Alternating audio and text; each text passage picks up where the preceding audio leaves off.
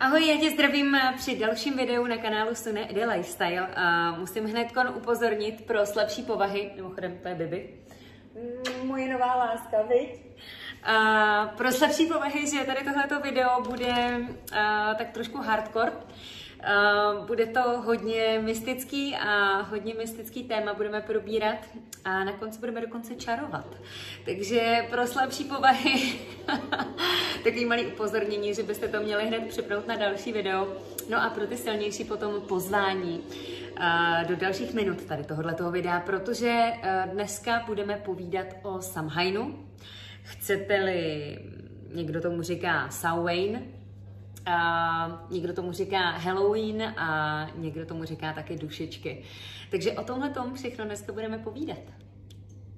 Spousta lidí si dneska myslí, že třeba Halloween je nějaký novodobý vymyšlený svátek a je na omilu, protože právě Halloween vychází z keltských tradic a z keltského svátku Samhain, o kterém jsem tady na začátku mluvila. A to bylo pro Kelty něco jako pro nás Silvestr. Oni tím slavili eh, příchod nového roku a zároveň se loučili s rokem starým. A protože naši předci byli hodně spojení s přírodou, hlavně co se týká Keltů, druidů a tak dále, tak eh, hodně se to tou přírodou řídilo. A protože vlastně začaly být touhletou dobou kratší dny a další noci, tak nastupovala takzvaná nadvláda tmy. Ale není to v takovém tom slova smyslu, že jako eh, by to ve vás mělo budit strach nebo něco takového, ba naopak. Oni tak uh, oni to brali uh, jako prostor k takové vnitřní retrospekci, k tomu uklidnit se a vlastně popřemýšlet o tom, co bylo v tom starém roce dobrého, co špatného, co by udělali líp v tom novém roce.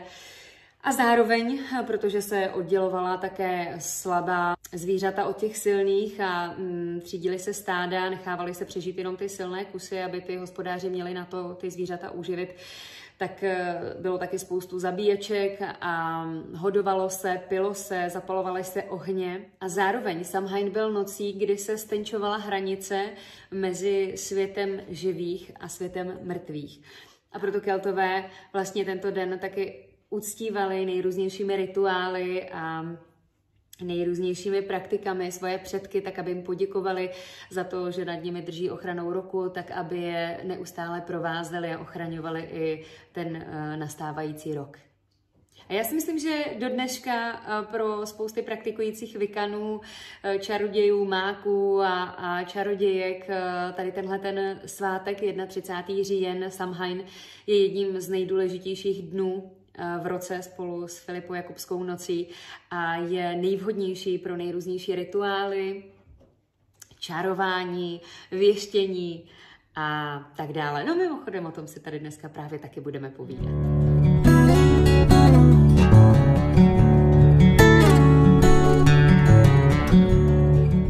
Ten letošní Samhain, Samhain 2020, vychází vlastně na sobotu, a speciální bude taky tím, že uh, bude vlastně úplněk.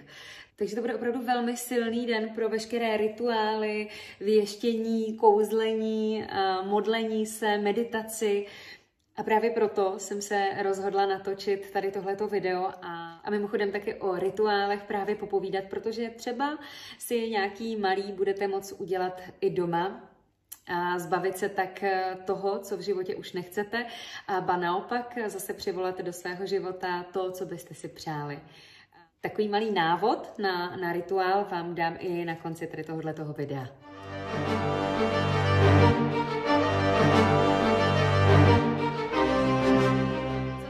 vlastně jsou a proč je vůbec lidé provádějí. Tak myslím si, že když se řekne rituál, tak každýho z nás napadne nějaký uh, satanistický obřad, kde se propíchávají děti a jedí se jejich srdce a tak dále, ale ne, rituál je v podstatě, uh, jak bych to měla říct vlastními slovy, tak řeknu zaměření pozornosti a upevnění si víry v uh, naše přání, v to, co chceme.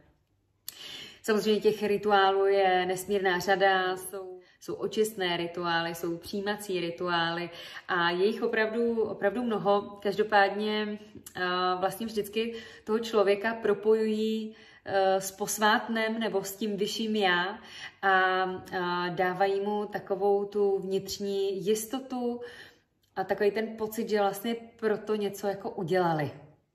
Jak tedy takový samhajnový rituál vlastně udělat a proč?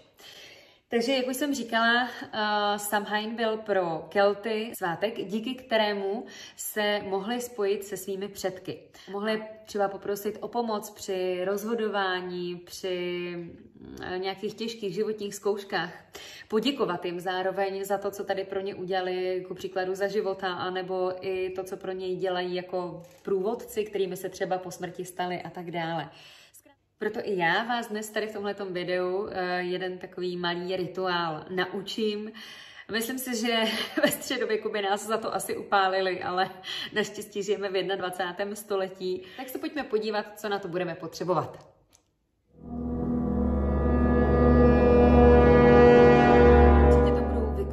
protože než začneme jakýkoliv rituál dělat, měli bychom si očistit prostor a měli bychom očistit taky sami sebe. Já nejraději používám bílou šalvěj, ona už je docela pohořilá, jak můžete vidět, ale jsou to v podstatě takovýhle lístky, které jsou uh, dány takhle dohromady do takovéhle paličky a akorát ji zapálíte a vlastně můžete s ní vykuřovat, co chcete. Nepotřebujete na to žádnou kadidelnici a, a v podstatě to nedělá ani žádný moc velký nepořádek, kromě toho popelu. Uh, další věc, kterou používám, tak je tady tohleto dřevo, je takové dost aromatické. I ta šalvěj samozřejmě má svoji typickou vůni, i když mě teda ty vůně uh, moc voní.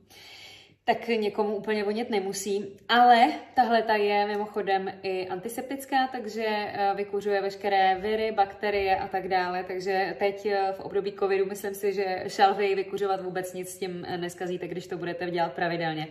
Tady tohleto dřevo, to se jmenuje Paulo Santo, doufám, že jsem to řekla správně, já to vždycky obrátím, nebo Santo Paulo, ne, Paulo Santo. A v podstatě funguje to uh, stejně jak ta šalvěj. Jak vykuřovat prostor? Tak o tom by mohlo být opravdu celý video, protože uh, já dělám docela častý uh, očisty prostoru, a takže bych o tom mohla povídat minimálně na jedno video a možná pokud budete mít zájem, napište do komentářů, klidně vám uh, video o, o čistě prostoru a vás samých velmi ráda udělám. Ale jenom tak eh, v krátkosti, v rychlosti zapálíte si tu paličku a v místnosti, ve které budete chtít ten rituál provádět, vykouříte rohy. Zkrátka na chviličku si tam stoupnete nebo tam dáte tu paličku s tou šalvějí, chviličku ji tam necháte, pak půjdete k dalšímu rohu, k dalšímu rohu, k dalšímu rohu, prostě do všech rohů, které doma máte, nebo v tom pokoji, kde chcete rituál provádět, tak eh, tam to vykouříte. Potom, co mám vykouřené ty rohy, tak já to dělám ještě tak, že si stoupnu doprostřed té místnosti a třikrát ji obejdu kolem dokola proti směru hodinových ručiček eh, a řeknu takový jako zaříkávadlo.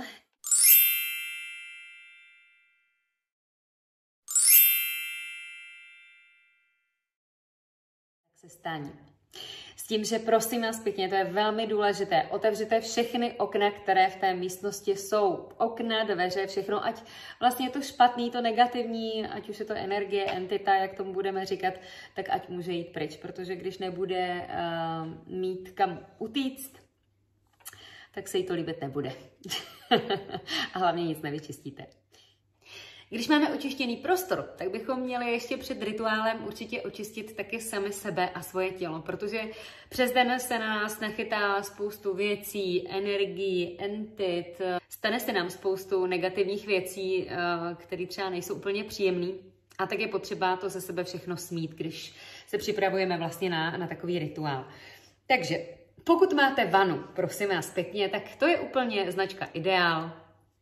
Stačí si ji napustit, dát si do ní třeba klidně nějaký kameny, ať už to jsou třeba křišťály, růženín, cokoliv. E, nejlepší prostě křišťál, to je takový univerzální kámen. Dát si do ní sůl, e, to doporučuji mořskou, ale může být klidně i himalajská. Rozsvítit si svíčky, nejlépe tři, bílé, nebo aspoň jednu a pěkně pustit si meditační hudbu, do té vany se lehnout a všechno ze sebe smít. Kdo nemá vanu, eh, nic si z toho nedělejte, vůbec nic se neděje, stačí sprcha, protože i sprcha má velkou moc, když do ní dáte uh, trošku svojí mysli. To znamená, že sůl určitě doporučuju tak i tak, protože může být koupelová sůl, může být uh, jakákoliv uh, jiná, může být uh, mořská, himalajská, ale i, i tou himalajskou solí je to vlastně takový jako peeling si uděláte, tak se můžete umít a tím, jak bude ta voda na vás spadat z té sprchy, tak si zkrátka zavřete oči a budete si představovat, jak z vás odplavují se všechny ty negativní věci, které se za ten den staly, nebo za to období, za který se čistíte jak všechny ty entity odchází a tak dále. Co je důležitý, když se čistíte, je e, namočit si taky hlavu, prosím vás, pěkně, než si uděláte drdol a, a nebudete si chtít namočit vlasy, ne, ne, ne, pěkně všechno, protože ono by to pak vylezlo tady takhle na hlavu a tam by vám to zůstalo a bylo by to uh, k ničemu. Takže určitě jak v té vaně, tak v té sprše. Ve sprše to je jasný, tam to z vás odchází, tak jak se sprchujete, ve vaně, Potom, když budete vypouštět tu vodu, tak je třeba to vydržet a ležet v té vaně a představit si, jak ta voda klesá, tak jak z vás klesají ty špatné negativní věci a jak to vlastně z vás všechno odchází pryč. Potom, až se vana vypustí, tak se ještě zvednete a osprchujete se sprchou. Nejlépe samozřejmě studenou vodou, ale to už nechám na vás, jak budete chtít. Tak, teď máme vyčištěný prostor a máme vyčištěný tělo. Tak se jdeme podívat, co uděláme dál. Po očistě si potom připravíme oltář.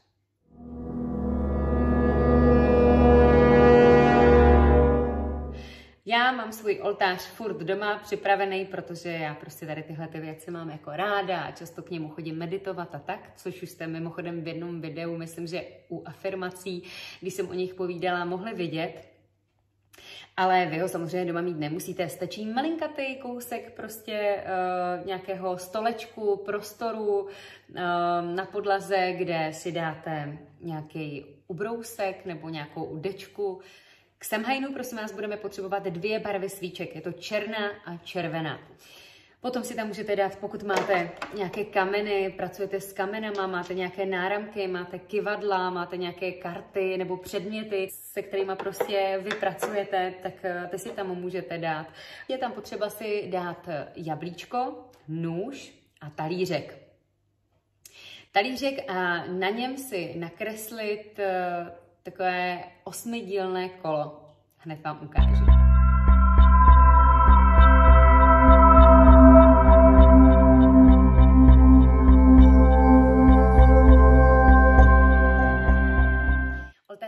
Připravený a teď ještě k dokreslení celé té atmosféry doporučuji pustit si nějakou krásnou meditační hudbu. Eh, já doporučuji frekvenci 528, protože to je frekvence, která eh, vlastně léčí buňky na úrovni DNA, dokáže se díky těm svým frekvencím dostat opravdu až takhle hluboko do vás. A myslím si, že celou tady tuhle tu věc ještě tím víc podpoříte. Nebo si můžete pustit třeba nějakou keltskou muziku, šamanskou muziku, prostě něco, co máte rádi. Ve chvíli, kdy tohleto všechno budete mít připravený, budete očištění, budete mít očištěný prostor, uh, budete mít připravený oltář, uh, budete mít puštěnou hudbu, tak si zkrátka sednete před ten oltář, zapálíte si ty svíčky a zavřete oči a zaposloucháte se do té hudby, která vám hraje.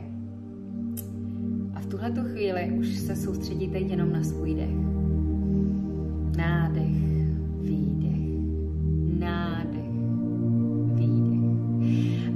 takhle budete dýchat několik minut, zkuste na chviličku vypustit všechny ty myšlenky a soustředit se jenom na ten dech. Nádech, výdech. Cítíte, jak ten nádech jde přes nos do celého těla, jak vám nese sílu a život a pak zase vydechujete to špatný, to, co už nepotřebujete, to, co uh, jste za ten den prožili, různé negativní emoce a tak dále. A ve chvíli, kdy tohle to dokážete, tak uh, se začněte soustředit na to, co položte si tu otázku vevnitř, sami v sobě, co vlastně už v tom životě nechcete, čeho se chcete zbavit, co už nepotřebujete.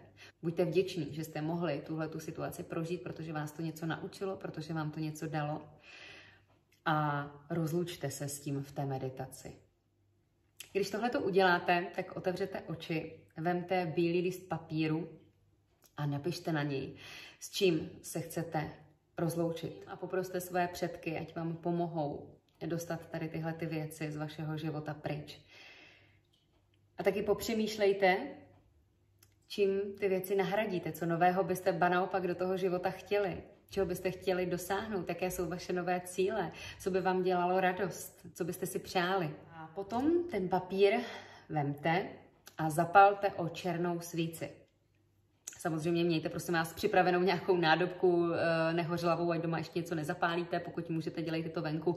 Pokud doma, tak musíte mít samozřejmě připraven nějaký kýbl nebo něco, eh, kde ten papír v klidu dohoří.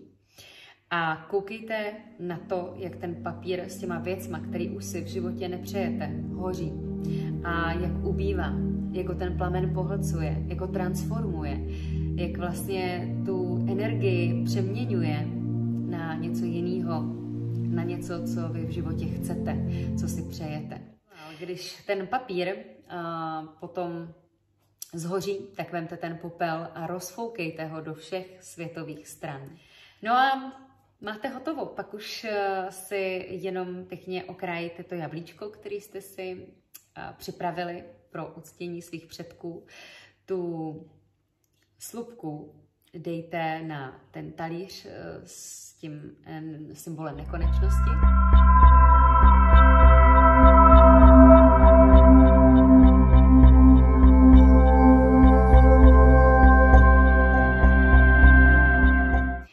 A pojídejte to jablko a vzpomínejte při koukání se do plamenů svíčky na své předky. Poděkujte jim za to, že jsou tady s vámi, za to, že vás vedou. Poděkujte všem svým uh, nebeským bytostem, které vás ochraňují, které vám poskytují boží vedení a zkuste procítit vděčnost za ty nové věci, které si přejete. Jako kdyby se už staly. Jak se budete cítit? Co budete cítit?